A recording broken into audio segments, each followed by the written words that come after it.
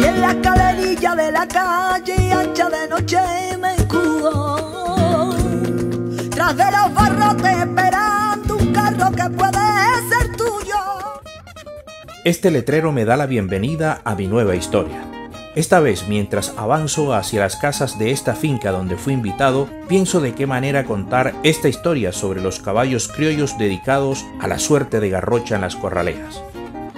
Fabio Hernández Olmos, dueño de la caballada Monserrate, ya tiene listos los caballos de labores de su hacienda para que vayamos por los caballos de Garrocha. A lomo de caballo, aquí en la caballada Monserrate, en compañía de Alejandro Cali, nadie lo conoce como Alejandro Cali, Popular ñato, el amarrador, y Guzmán, vamos a buscar los caballos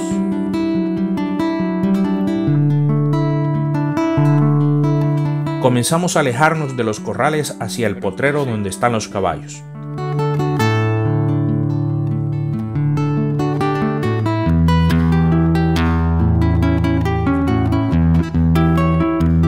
Ahí estaban, libres en medio de la pradera y muy expectantes a nuestra llegada. Le pedí al ñato y a Guzmán que me dejaran llegarle un poco más cerca para poder grabar su estampa de fuerza y brío. Este es el estado natural de estos caballos. El mayor tiempo de estancia aquí en esta finca la pasan así, a campo libre, a campo abierto. Y cuando llega una temporada taurina que se requiere de sus servicios, momentos previos, comienza la preparación, comienzan a encerrarlos, a amarrarlos para tratar de desaguar, para que estén eh, físicamente en buen estado para responder a la actividad taurina. Se complementa la alimentación natural de hierba, agua, con una ración de alimento. Este es el estado natural del caballo criollo de vaquería. En este caso, los caballos que se dedican a la garrocha. Ahora corren a galope tendidos sobre los pastizales. Es un momento muy especial poder contemplar la belleza de estos ejemplares como si se tratara de una fina poesía en el firmamento.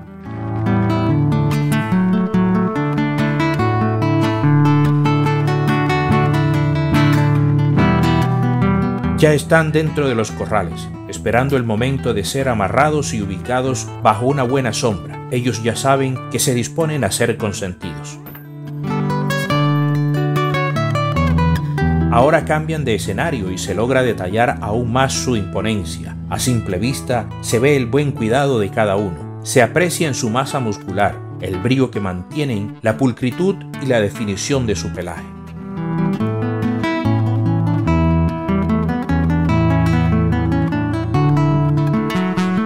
Hoy nos encontramos aquí en la caballada Monserrate, haciéndole seguimiento al proceso de cuidado y de adiestramiento de estos caballos. Estos son los caballos que entran a las corralejas, donde los experimentados garrocheros entran a hacer la suerte de garrocha. Son caballos de unas condiciones y unas características especiales. Hoy hemos llegado aquí para contar esta historia del caballo de garrocha.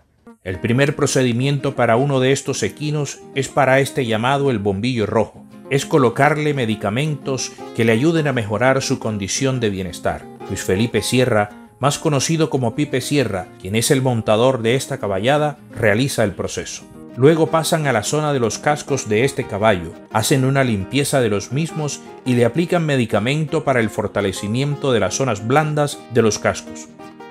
Pipe Sierra no solo es uno de los más reconocidos garrocheros de las corralejas, sino que mantiene un lazo de conexión muy arraigado con estos caballos. Es por ello que ahora comienza el proceso estético de la cola de este caballo llamado el Tremendo.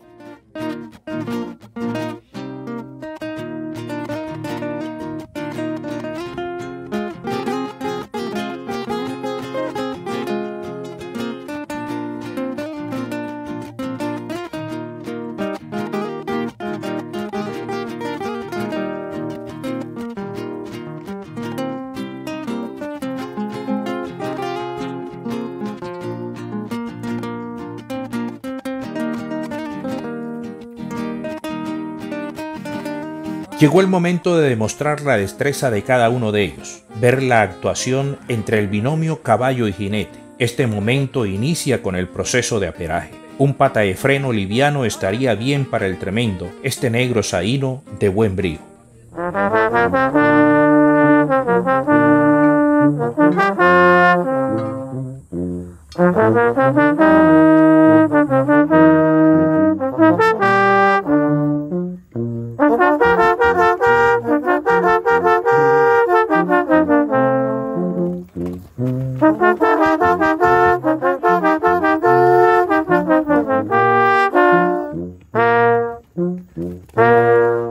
El siguiente turno es para el periquirri, otro negro saíno de unas características diferentes, un poco más dócil, más noble, pero con la velocidad de una bala detrás de un toro.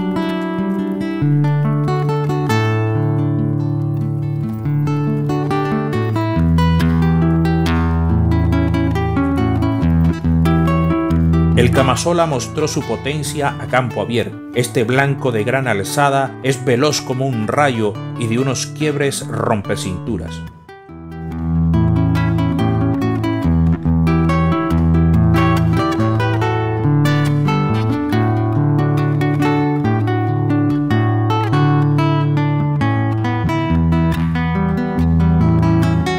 El bombillo rojo se prendió también a campo abierto, dejándose mover de lado a lado sin esforzar su rienda.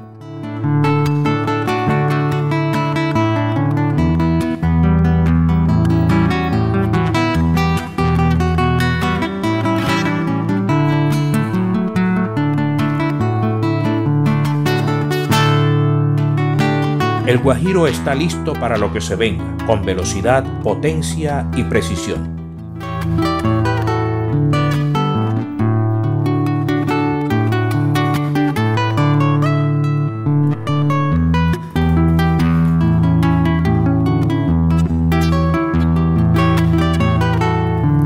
Ahora el turno es para la experiencia, la veteranía y el carácter que guarda el lirio rojo.